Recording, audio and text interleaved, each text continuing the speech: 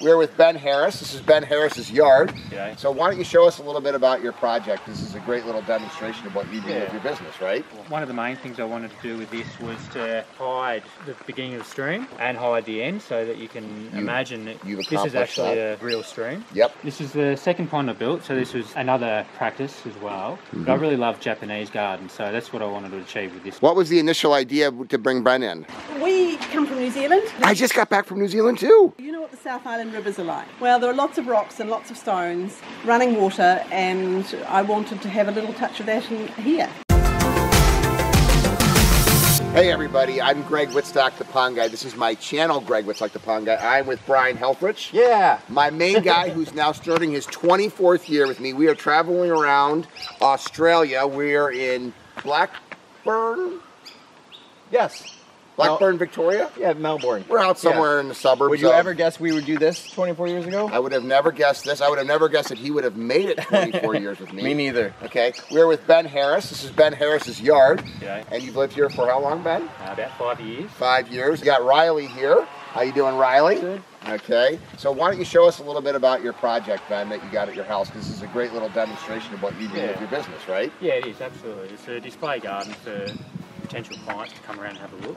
So this is a pondless stream, so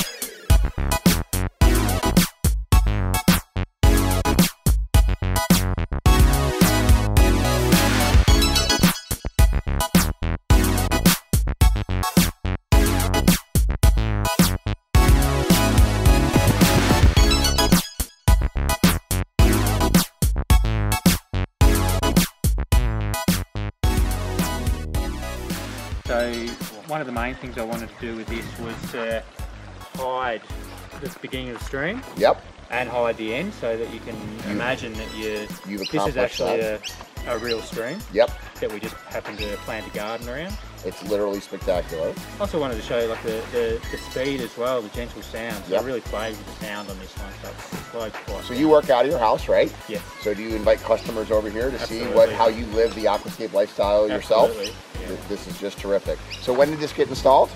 Uh, this was four to four and a half years ago. Okay. This is the first pond stream I built. Uh-huh. Really? Yeah, Quite quite talented, The huh? first one, Yeah. right? Yep. Yeah. first one. So this is my practice because Yes. I decided, oh, this is actually what I really want to do. Amen. So Well, first one, and then I built a pond out the back as well. well, you have some incredible talent. Let's go check out that backyard.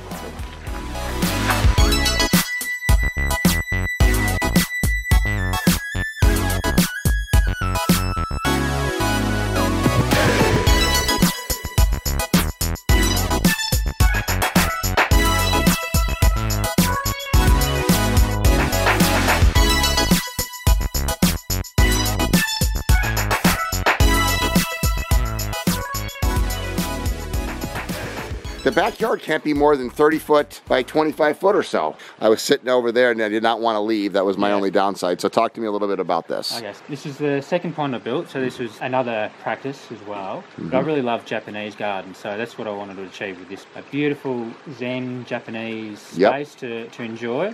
You've uh, you've achieved green. that, and you actually went to Japan to study, correct? Yes, I did. So a small little water feature like this, approximately how long would it take you, and what would you charge for it? This would take me probably two to three weeks, including all the garden. Charge, you'd probably be looking at about twenty-five to thirty thousand. to just Something like completely transform the space. Now, Brian, one of the things that we like to talk about is most backyards are just gravel or grass out here, and then you come back here, you would never expect this. Yeah, absolutely. I mean, look at how it's transformed this space. And, and really, you touched on it before. It, it can't be 30 feet wide, maybe 12, 15 feet deep. You've taken a very unique space to its fullest potential, hmm. right? Brian, I was sitting there. I mean, there's not a person that would walk back here that would not want to go back and sit in You're that. drawn back here. And in this project, Ben, you've really achieved the same thing you did in the front yard one, too. You can't tell where it starts or where it ends. Yeah. So a lot of times, you know, the pond sits right here, Greg, and the skimmer would be right there. Yep.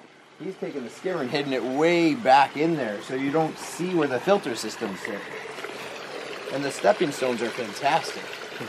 I know you were sitting here, but I just want to take a nap. I'm still getting used to that time change. Yeah. So there's what Brian was talking about. Look at how the plants of everything's being incorporated in here. This is the whole Zen type of a feel, you know, is what you studied. Yeah. How long has this garden been established? You said four and a half years for the front? Yeah, this is four years as well. Okay. So it's amazing that in four years you can have this level of transformation. And Greg, you don't have to really have um, a big, big pond or giant pumps and really fast-moving water to have that relaxing, you know, aquascape lifestyle feel. And look at this. The pond can't be, but eight foot by six foot, right? And and it feels incredible. In fact, anything bigger in here would be out of scale. I love too how um, you know as you walk through it, you discover you're constantly brushing up the plant, you know, against the plant. So you're really paying attention to what's around you and your surroundings. What kind of clients do you like to work with, Ben? Like if you were to say a good fit for you for your business? All the clients that I work with, they're down to earth. Uh-huh. Really down to earth. So people who really just love nature. Uh huh. I find as well that most of the clients I work for, like they trust me. And I'm always amazed by that because at the end of their job, they'll tell me, I actually didn't know it was going to look like that. It looks amazing. Thank you very much. and I think, well, how the hell did you... It was a leap of faith. And Brian, you talk about this a little bit. That all the time. There's not a drawing in the world you can do. There's not uh, the amount of spray paint you put on the ground that really gives the customer what they're talking about. So I always tell customers, I know you have no idea what I'm talking about. You know, the water's going to start here, it's going to end here, but at some point, you're taking a huge leap of faith and trust into what I'm doing. And I don't know if I could personally make a decision like that, but our customers do it all the time, and obviously. We're going to go see some of your customers today and uh, see that Yeah. leap of faith that they took, which will be really exciting. And you can hear the water falling in the AquaBlox that sit below. Front yard water feature.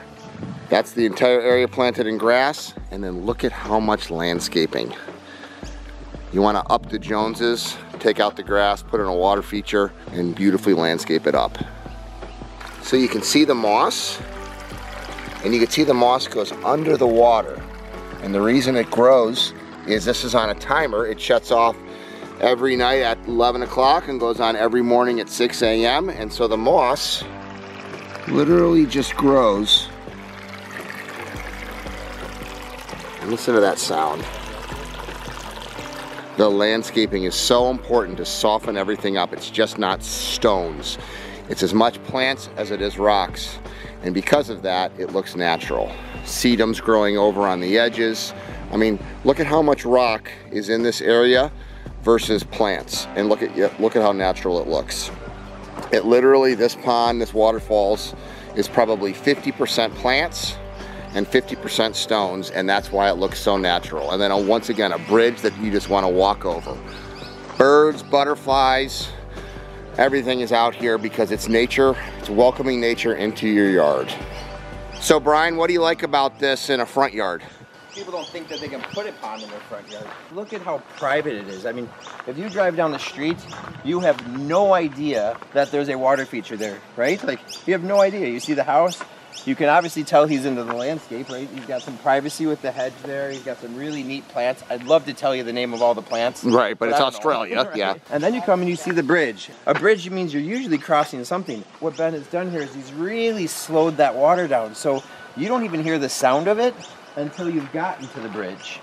Yep. And then just look at how peaceful it is. I mean, it's a pretty big feature in a front yard, Mhm. and you don't discover it until you've really gotten to this point. It's here. hidden. Yeah. And it creates a sense of mystery. And you actually said this. You didn't want people to know where it started or where it ended. And I still can't figure out where it's We've been here for a half hour. It's in there somewhere.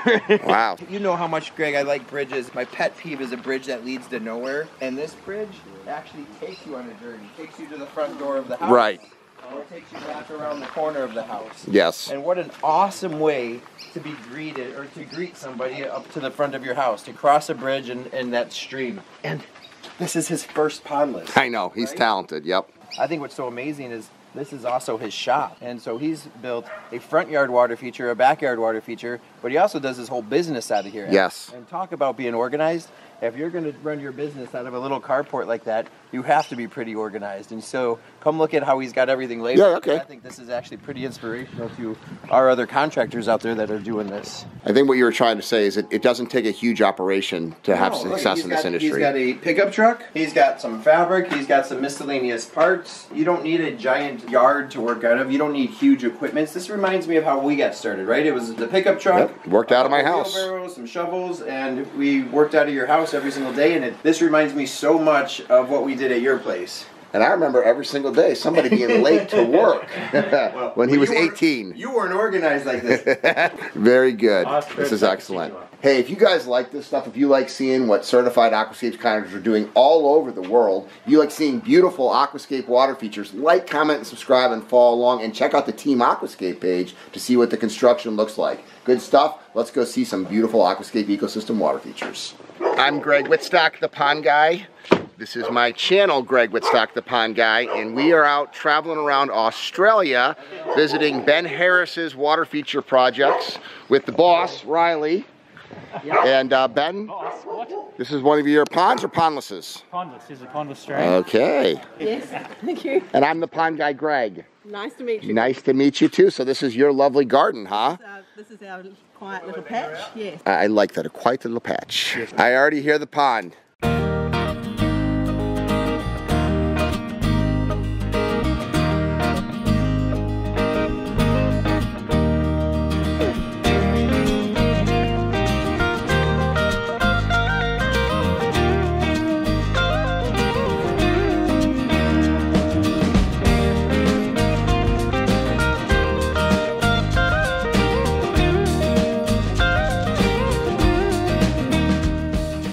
Kind of a front yard again, Brian, it looks like. Tell me about the stone. Where's the stone come from? There's two different types of stone here. There's the flat stones, the highland slate that Uh-huh. come from New Daylesford.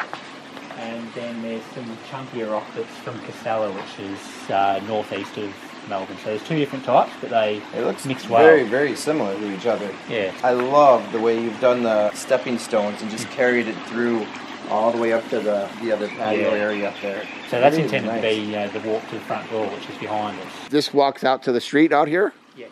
Okay. What was the initial idea to bring Ben in? We come from New Zealand. I just got back from New Zealand too. Did you go to the South Island? I did. Okay, so you know what the South Island rivers are like. All I know is that everything was breathtaking. Well, there are lots of rocks and lots of stones Uh-huh. and running water, and I wanted to have a little touch of that in here. And Ben's done that, and we think it's wonderful. How long ago did you put this in, Ben? I think around three years ago. Okay. And how did you find Ben? Uh, a friend of mine who lives out of town, Ben had done a very different stream for her, and I loved the way it looked so natural. Hers is an Australian stream, and I wanted something a bit different. And Ben just seemed to have a good feel for rocks and water. I love how you've tied them in through the landscape too. It's not just a vein of rock running through the one section of the yard. There's a big piece here. There's some out in the front. So even as you come down through the driveway, you kind of get a taste of what's about to be back here, which is so nice. What do people say that come to your house for the first time and hear that water? Oh, people are blown away. And they say, I didn't know there was a stream running through this area. They think it's, it's natural. Which is the ultimate compliment to a contractor. Exactly. And the rocks have, I don't know, Ben's just placed them beautifully. Spent a long time working it out, didn't you? Yeah, it takes a while. Yes. Well, the rocks talk to you, Brian. You want to talk about that? How do the rocks Now, I talk don't to you? like to admit it to everybody, especially to all these people that you see seeing this, but yes, there's something that you know. I build ponds back home in the Chicagoland area, and um, the rocks kind of speak to you, you know. And, and so when when you're placing a rock, it says I want I need to be used for a waterfall, or I should be used for a stepstone, and you see that because. You've ordered some flatter ones mm. for this area, which you couldn't use for building up a waterfall because Mother Nature would never stack rocks on top of each other. So you need the chunkier ones for this. And so customers always ask, "How do you know where to place them?" And well, I don't. They tell me where they're supposed to go, right? And Do you think? Do you think that's a little crazy? The rocks talk to them. Yeah, a little bit. Well, what's so nice with the waterfalls is you get the opportunity to make different types of sounds, and this one's got that really deep, babbly brook sound. And the reason that happens is a couple reasons. One, you know, Ben's done a great job with taking these two stones, pushing them closer together. When you do that, the water will get a little thicker. It looks thin, but it's actually about that thick. And thicker water, as it comes down, will create a deeper sound. The other reason you get that deeper Babbly Brooks type sound is because there's more of a plunge pool down here. It's not really shallow. If I were to actually take the same waterfall, drop it into really shallow gravel, you get this higher treble sound. I always let our customers know too, if you ever wanted to like kind of tweak the sound to your own liking, you can do things like just adding a rock in here. Now listen here, if I just put my hand in here and pretend this was a rock, how much different the sound is. So as that water comes down and hits something, it creates a much, much different sound. So we always leave a couple extra rocks for homeowners to play with it and tweak it themselves. But I don't know why you would change a single thing on this project. It is perfect. Amen. And if you like this stuff, like, comment, and subscribe so more people could see this stuff. And check out the Team Aquascape page, which is all about the construction of beautiful aquascape ecosystem water features. I love my job and dogs too.